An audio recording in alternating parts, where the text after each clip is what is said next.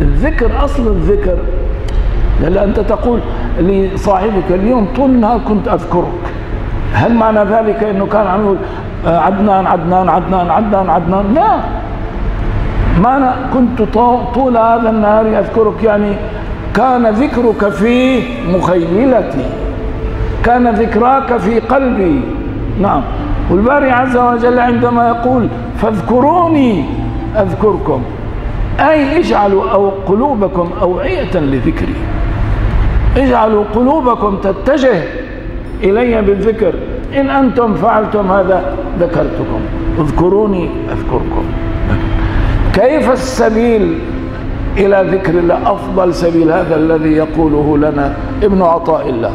كل لحظة تمر بك مثقلة بحقوق لله عز وجل عليك.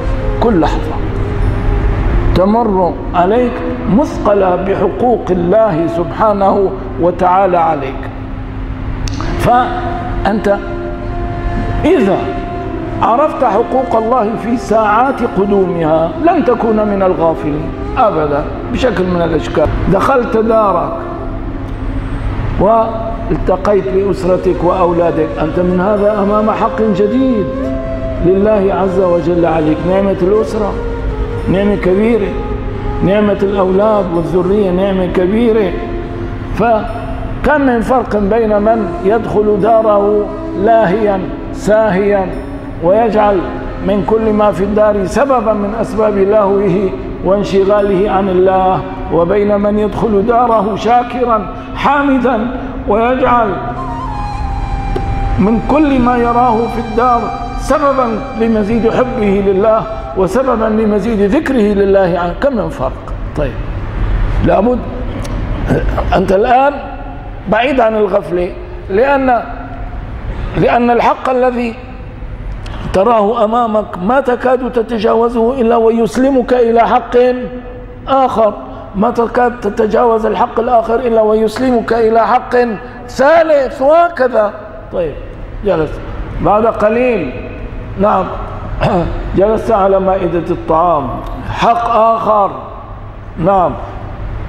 نعمة الله عز وجل التي أسدى إليك حقها في تلك الساعة ينبغي أن يعطى في تلك الساعة. نعم. وإلا يذهب تذهب الفرصة. تحمد الله عز وجل. وأنا دائما أقول يا ناس اذكروا نعمة الطعام. مهما تفنن الإنسان في الطعام مهما تفنن هذا الطعام إنما يأتيك من سماء أمطرت وأرض أنبتت وأنعام سخرها لك الله لحوما وألبانا في غيرهم شوفوا الأطعمة اللي الدنيا كلها عم تتفنن فيها بالمطاعم والفنادق وهون وهون. في غيرهم؟ ما في غيرهم. لك منين اجت الأطعمة من سماء الله التي يكرمنا بأمطارها. من الأرض التي يأمرها الله عز وجل بالإنبات ومن هذه الأنعام التي سخرها الله. آه نعم حق جديد من نعم الله عز وجل عليك. طيب بعد ذلك تريد أن تنام. تتمدد لتنام. حق جديد أنت بين يدي حق جديد لله عز وجل عليك. نمت استيقظت حق جديد من نعم الله سبحانه وتعالى عليك. طيب سلسلة هذه النعم متواصلة أيها الأخوة تلاحظ؟